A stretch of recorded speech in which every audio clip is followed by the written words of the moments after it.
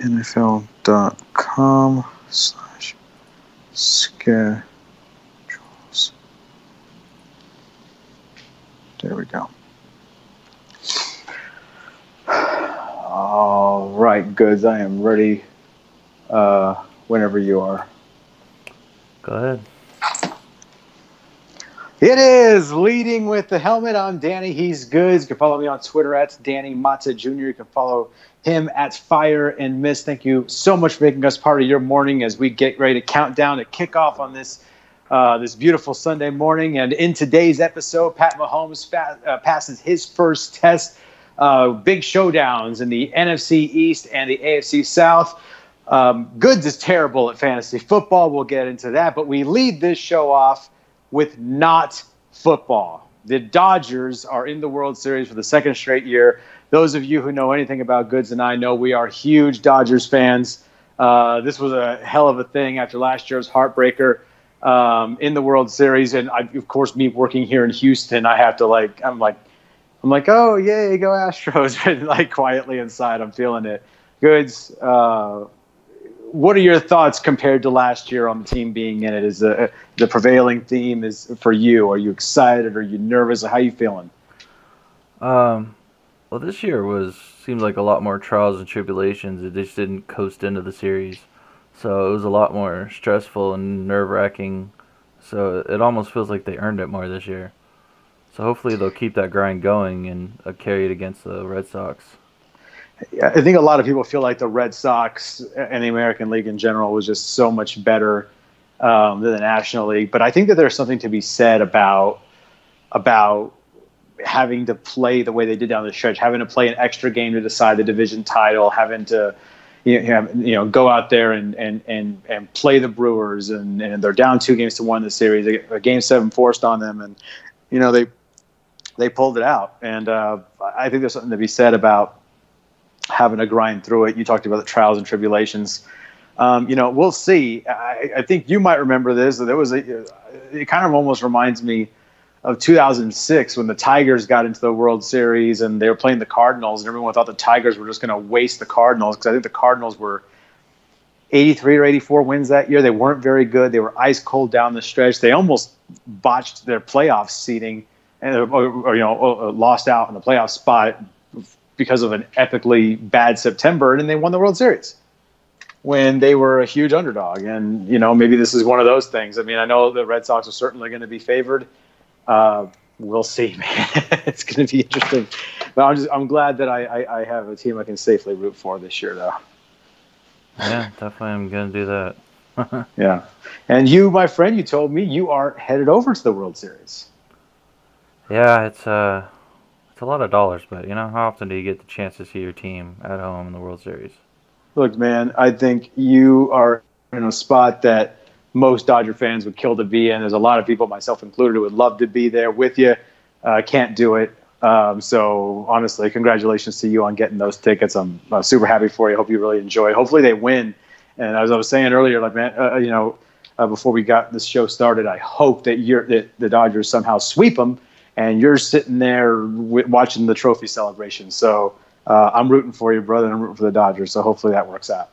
Um, we'll lead. So getting back to the football stuff, I promised you a story about how terrible Goods is at fantasy football. I am butchering you. We haven't even gotten the week under uh, the week fully underway because I started the Broncos defense against you this week, and it's wonderful.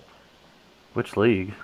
It's the ten team league that we're in. We're in two leagues, oh, guys. Yeah, my 10 team's not that good in that league. Yeah, I agree. It isn't, and I'm smoking you. I picked up the Denver defense uh, just for as a streamer this week. That was a good pickup. yeah. Thirty. Yeah, yeah. Thirty-eight points I got for him, so I'm feeling really good about that.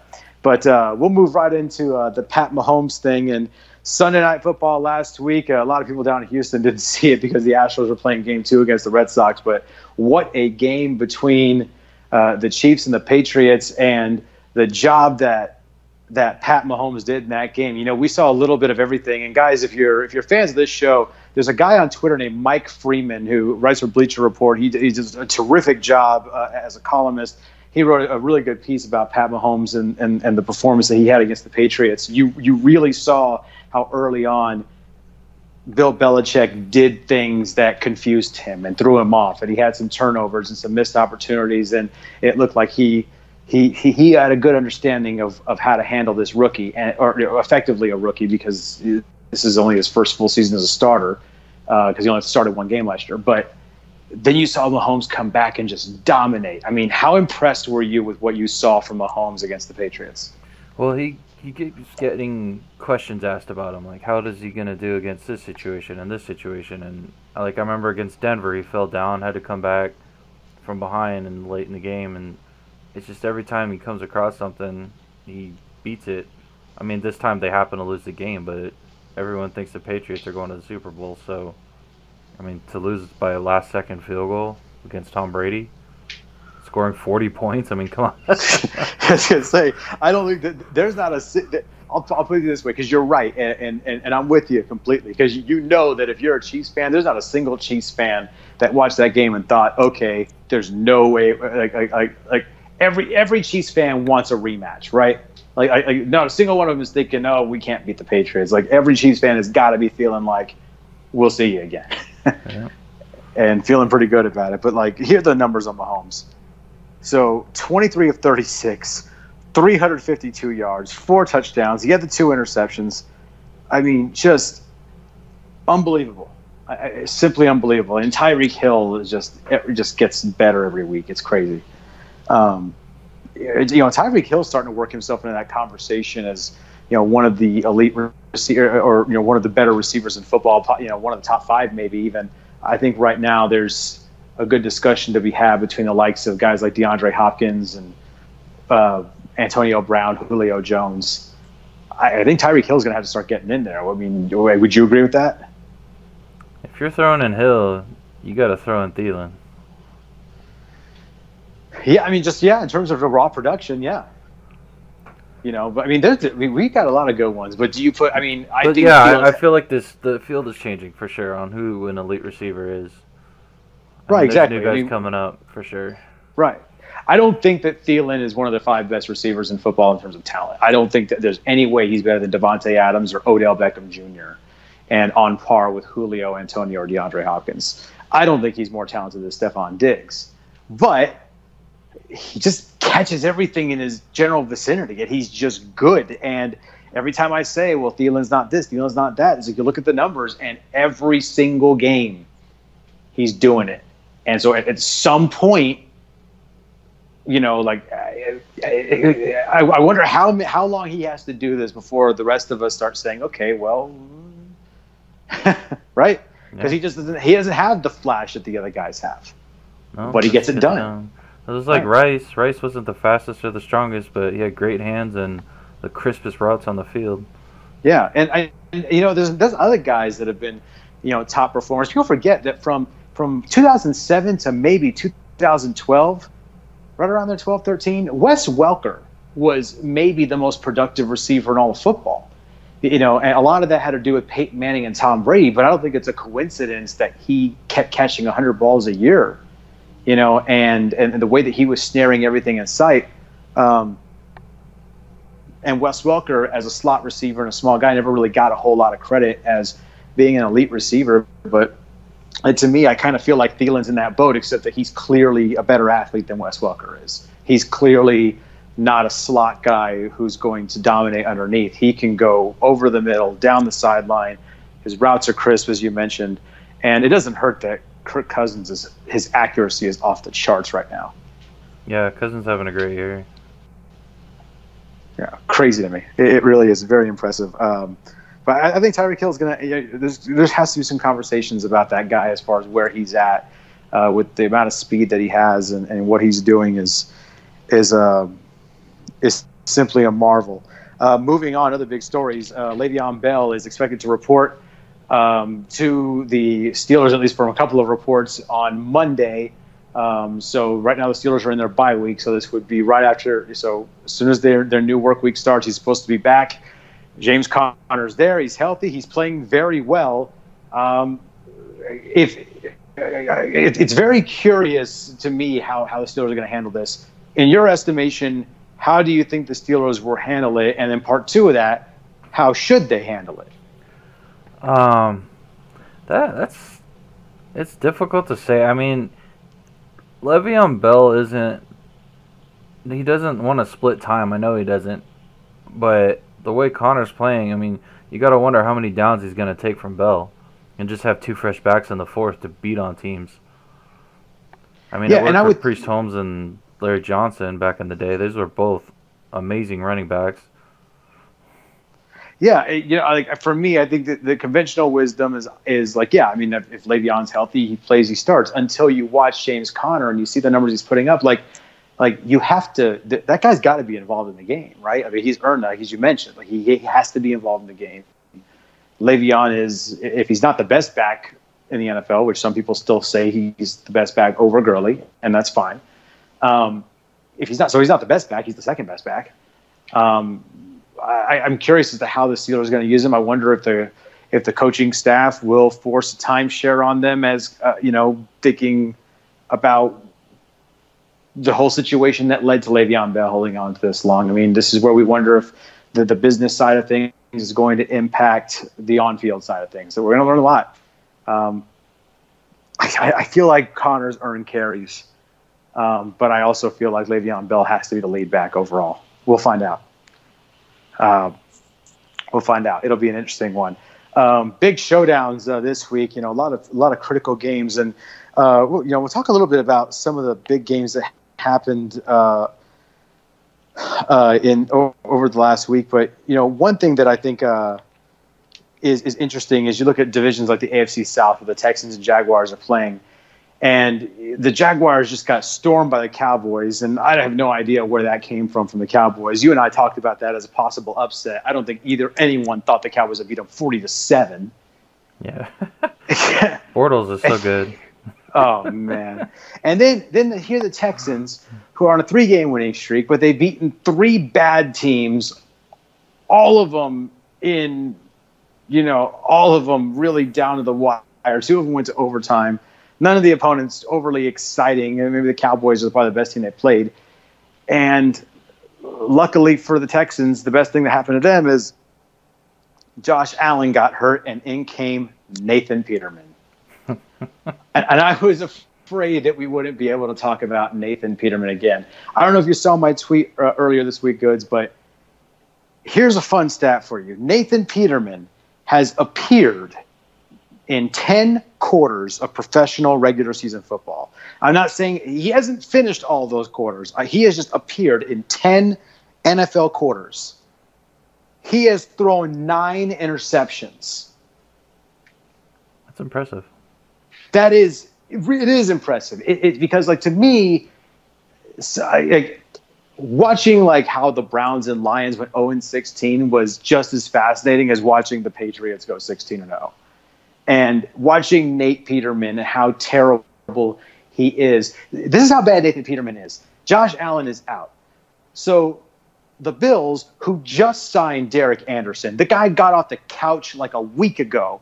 He's going to start this week because a guy who doesn't know the playbook and got off the couch a week ago is deemed a better option than Nathan Peterman. He's not better than a guy who just got off his couch. That's insane. I should go try out for the Bills, man. Maybe I could do it. That's what I'm saying, dude. Like Derek, Derek Anderson doesn't even know the playbook, and the Bills looked at a guy who doesn't know the playbook and went, "You know what? That don't even matter because Nate Peterman knows the playbook, and that shit ain't saved him."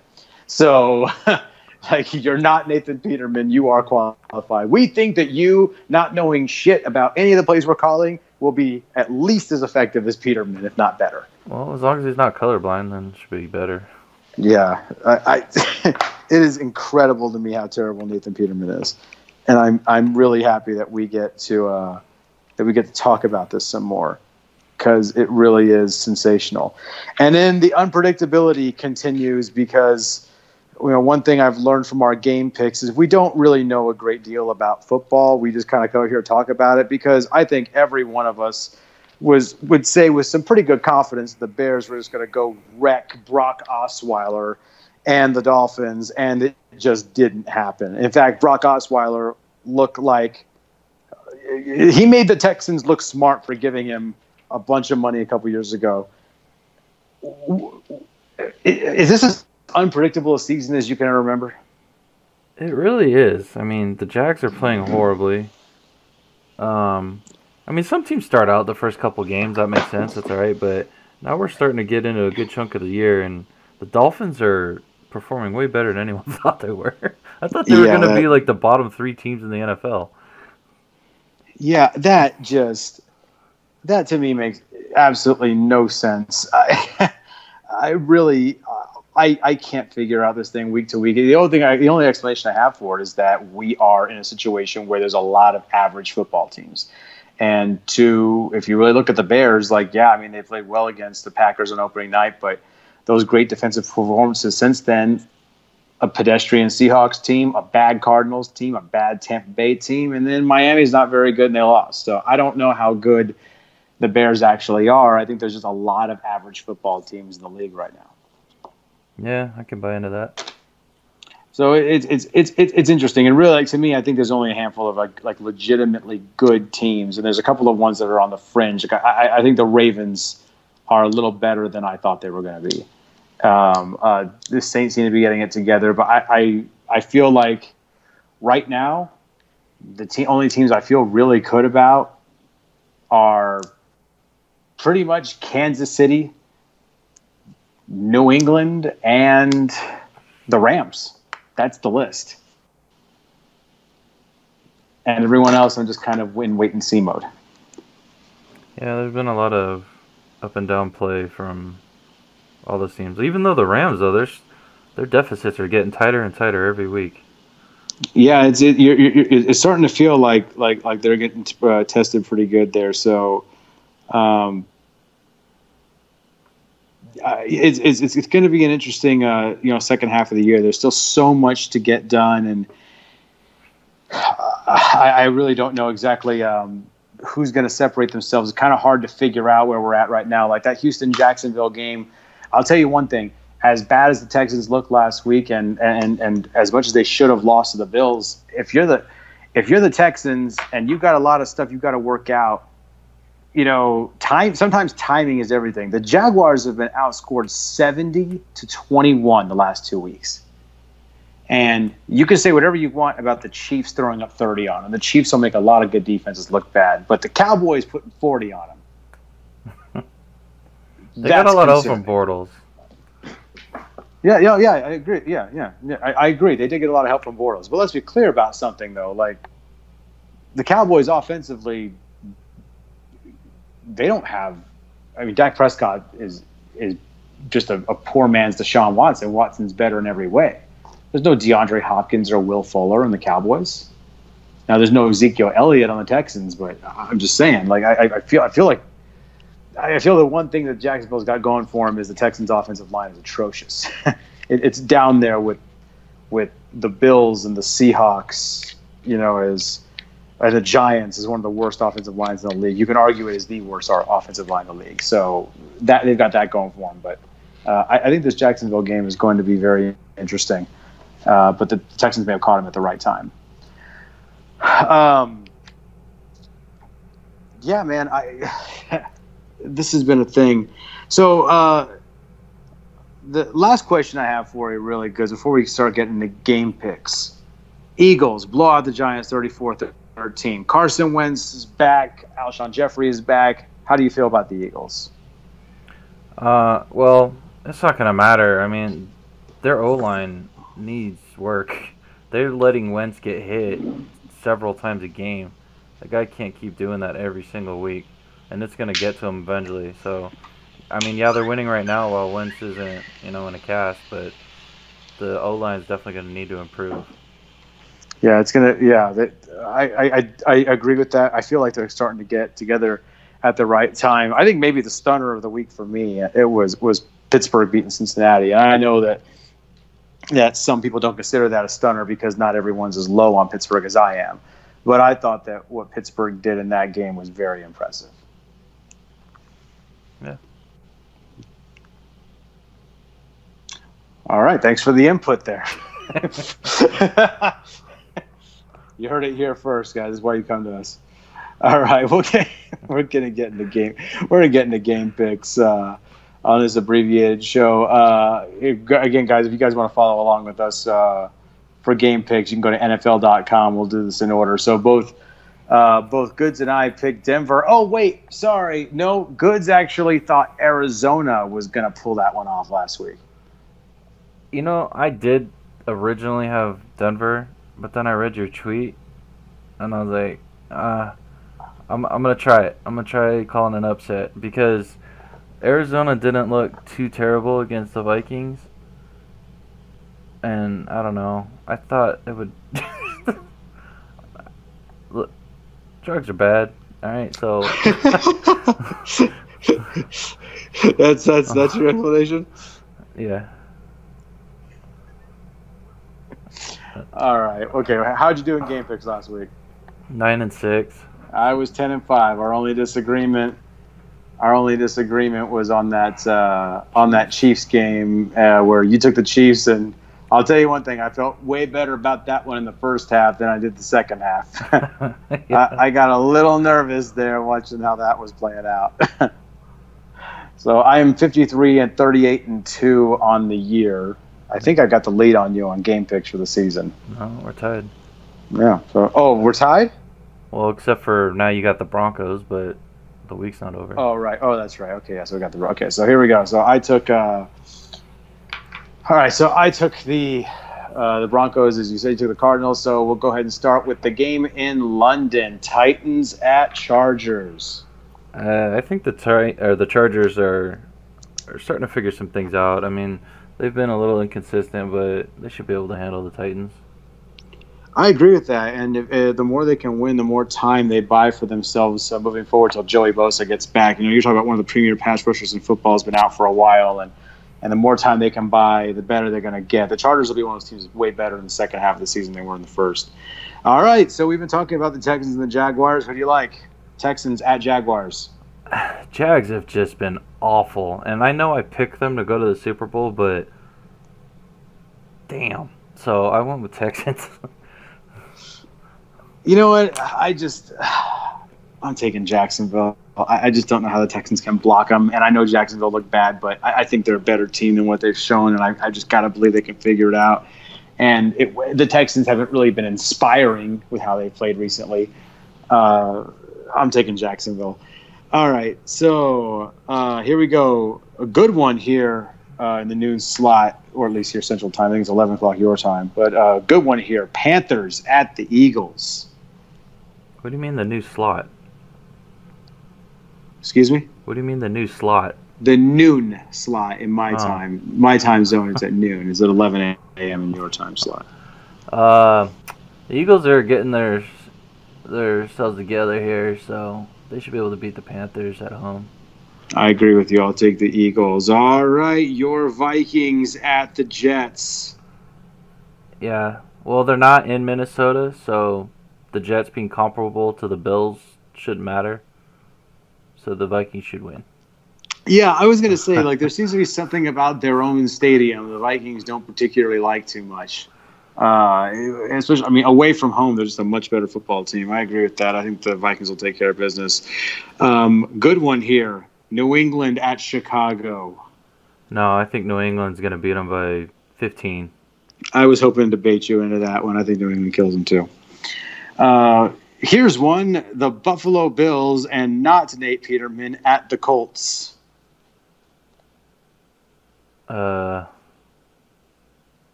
I'm going to go with the Colts. I just there's just no way the Bills, right? I, I, there's I yeah, I don't know. I, I feel like every time I think there's no way something happens, I'm wrong. But I would have a hard time believing the Bills can beat the Colts. yeah. I really have a hard time believing that. Okay, so this is an interesting matchup: Cleveland at Tampa Bay.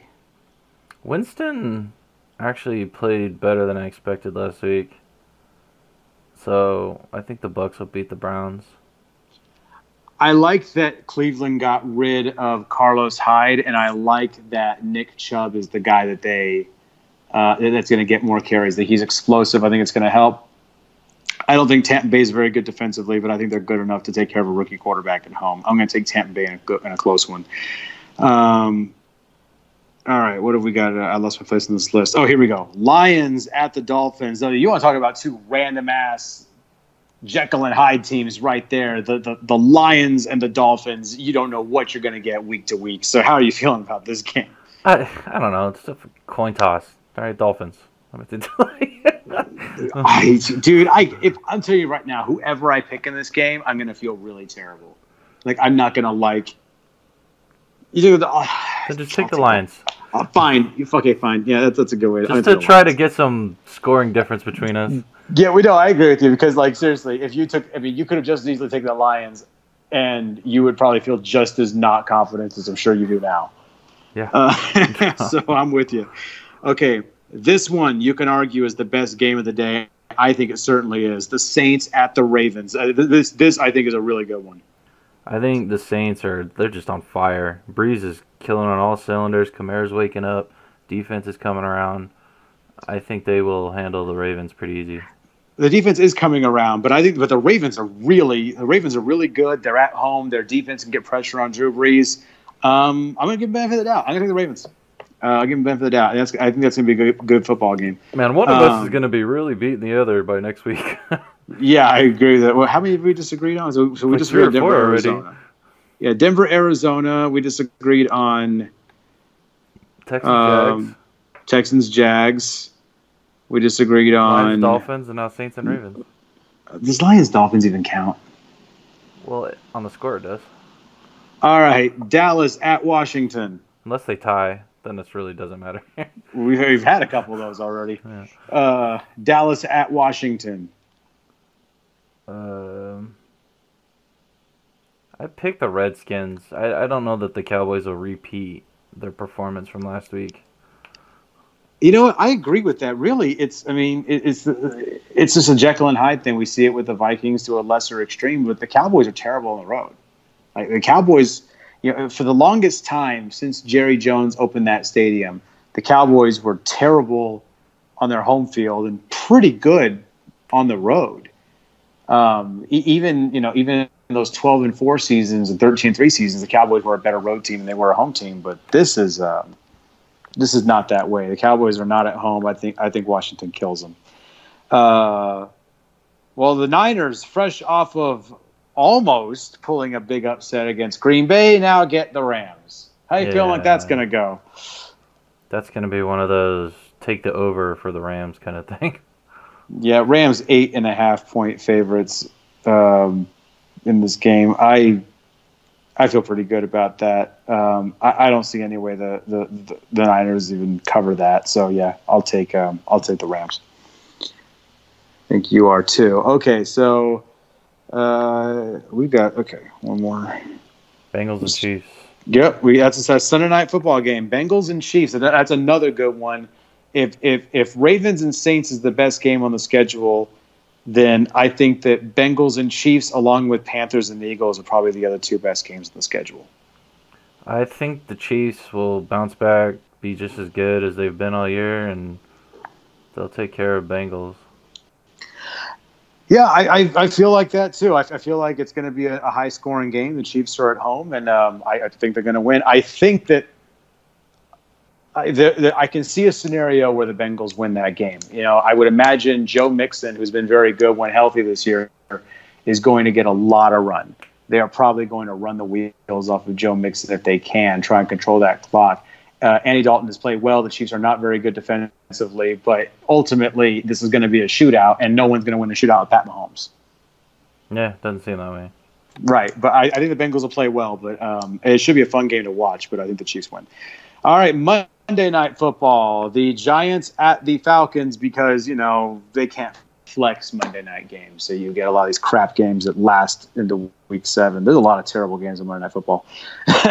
there really yeah. is. Yeah, there truly is. yeah, I'll tell you one thing. Monday Night Football has basically become the day where you basically watch it to see if your fantasy team wins or loses, right? The only reason to watch right now. There's some good ones. I mean, we're in about a month, uh, month and change here. We're going to get Chiefs and Rams, which is the game that ESPN would gladly pay a billion dollars for. Yeah. Uh, who are you taking? Falcons. Giants or Falcons? Falcons. Yeah, I agree. Falcons are at home. I mean, they just got so much more potential upside. Even if they're not playing well, they could always play well at some point, and the Giants don't have that.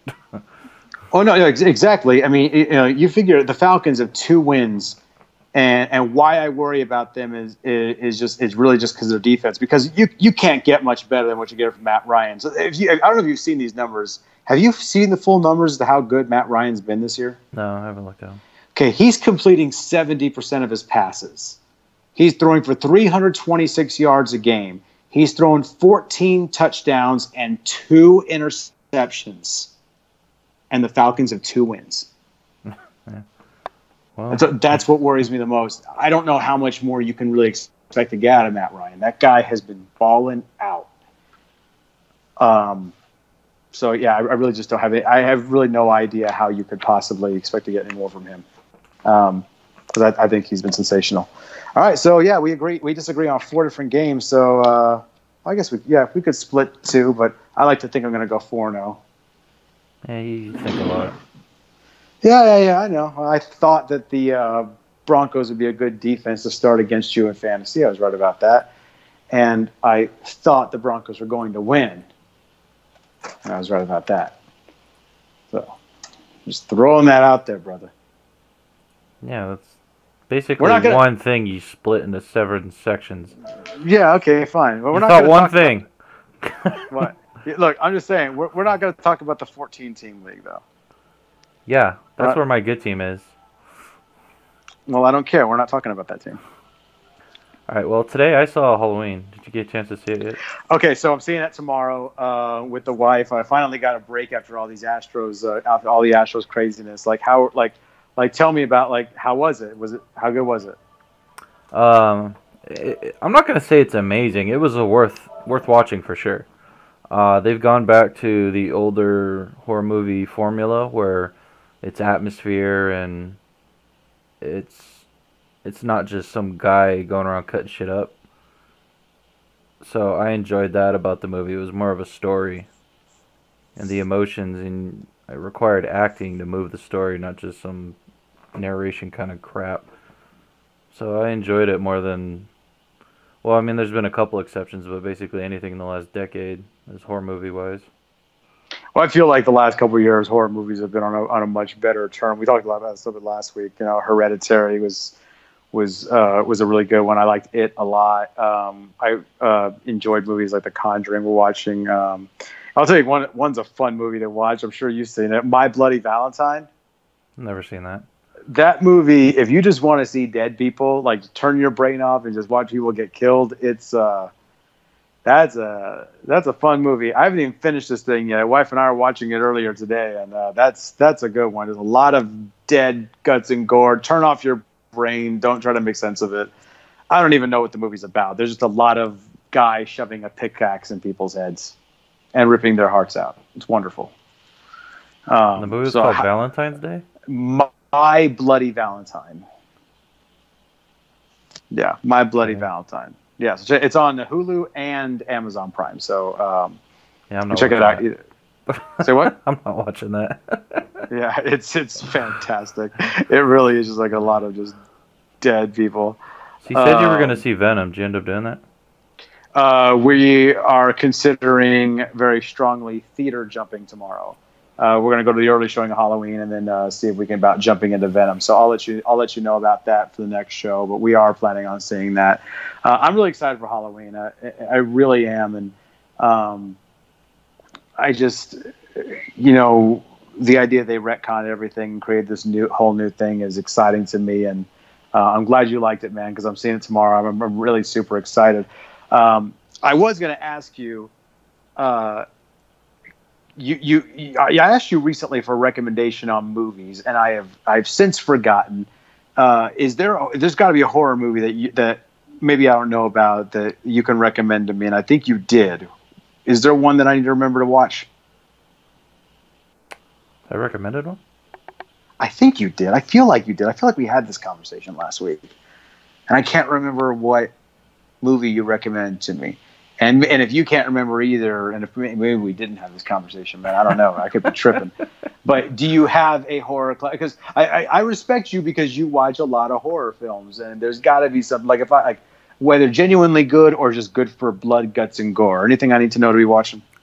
There's a lot of uh, Asian films actually that they're so absurdly insane that they're entertaining to no end. Like there's this one. It was um, oh, what was it called? Franken Girl versus something. And then this, the one of the weapons, this girl, she takes off her tits, and then the chains are linking them together, and she uses them as a weapon. it's like what the fuck. So I mean, yeah, there's a lot of wild Asian ones out there. You check those out. Okay, I, I, yeah, I, have I've seen some pretty bizarre looking stuff out there. Uh, I'll definitely check out some of that. I remember watching one was uh, there was one called Ichi the Killer. Oh, yeah. That was the weirdest thing I have ever seen in my life. And guys, I it's not a scary movie. It's just a guy like kills people with special skates. He like karate kicks them to death, and he's a loony. And I, there's a detective hunting him who's even crazier. It's the weirdest thing I've ever seen in my life. Uh, Ichi the Killer. That, uh, if you guys are just looking for something that'll just make you go, what?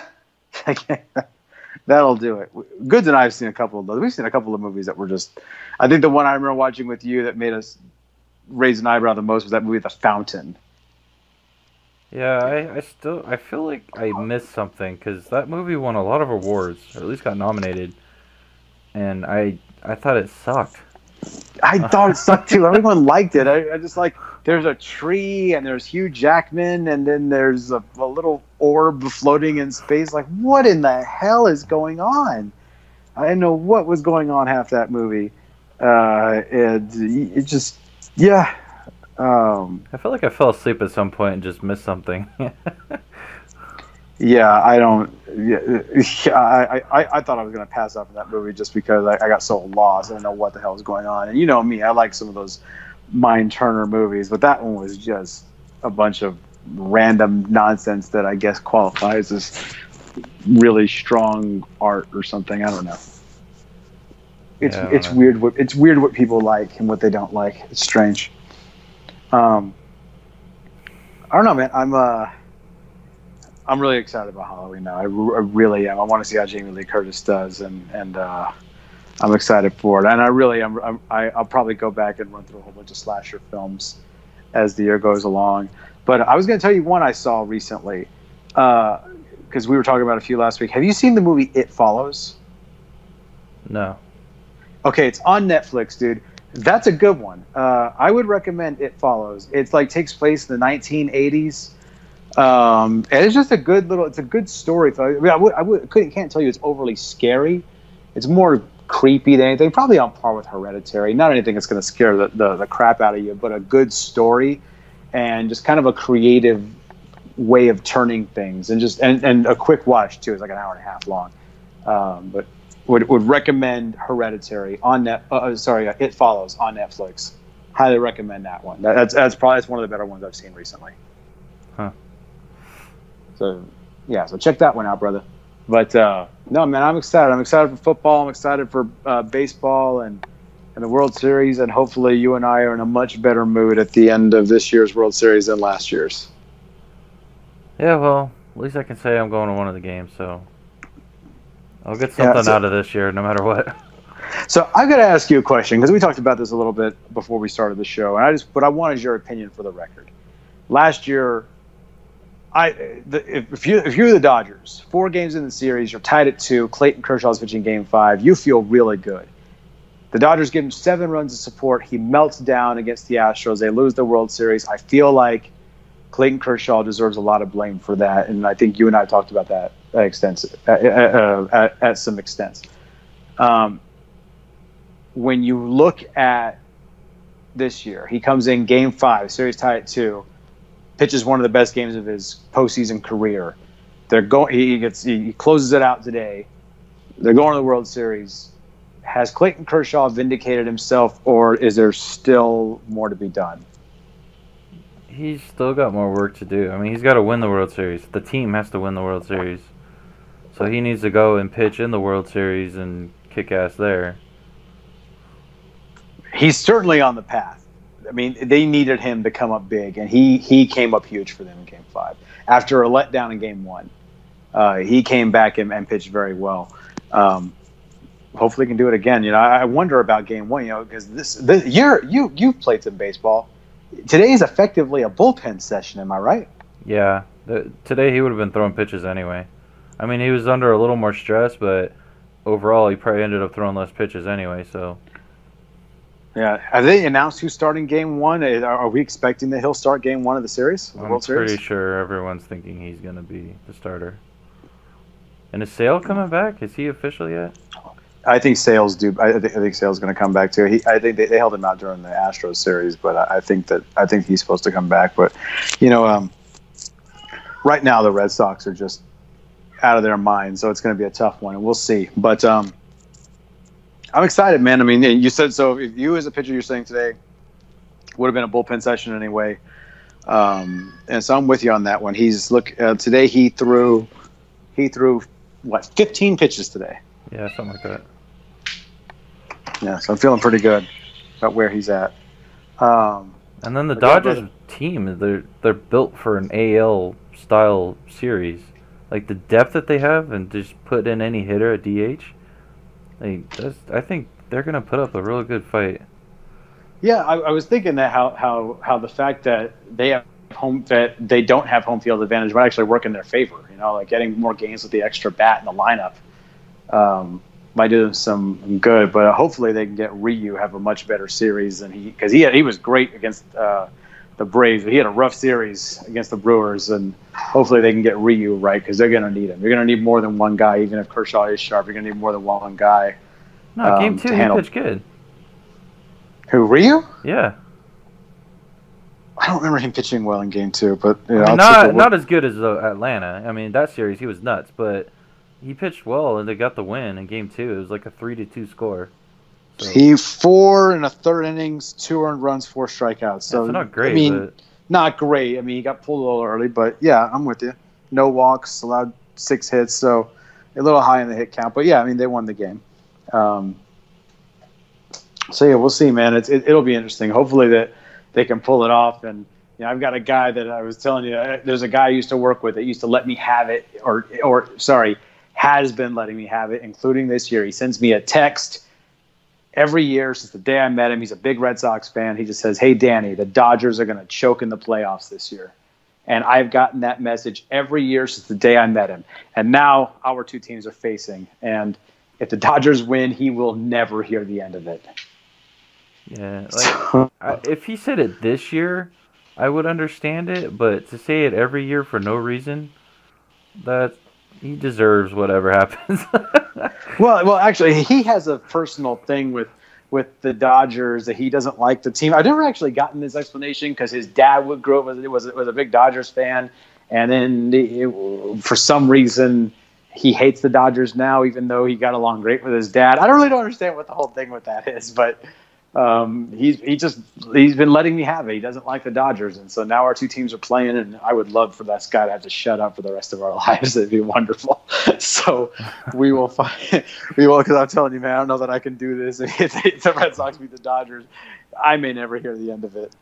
So uh, we'll see what happens, but uh, it should be a fun week of sports ahead. And guys, if uh, if the energy level is is lacking on Goods and Eyes next show, you'll know why if you're not a baseball fan. But until that moment, I'm Danny. He's good. This is leading with a helmet. Enjoy the games, folks. That's it.